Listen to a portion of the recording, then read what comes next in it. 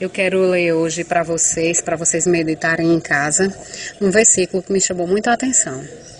É sobre os frutos do Espírito. Mas o, o, o fruto do Espírito é amor, alegria, paz, paciência, amabilidade, bondade, fidelidade, mansidão e domínio próprio. Contra essas coisas não há lei. Enfim, eu quero frisar hoje sobre paciência. Paciência hoje a gente precisa para viver nesse mundo tão caótico, nesse trânsito.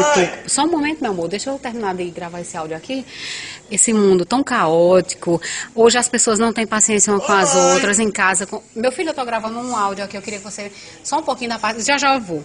É, sai, cachorro velho daqui. É, so... Hoje nas escolas a gente não vê que não tem paciência. No, no trânsito, oh meu Deus. Ô meu filho, calma, em nome de Jesus Cristo. Leva esse cachorro fedorento aqui.